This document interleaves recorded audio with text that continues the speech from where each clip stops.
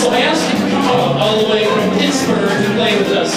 Please give Kevin McManus a warm Southern California welcome. Also playing with Kevin today is LA recording artist and freelance musician, the one and only Dick Nash.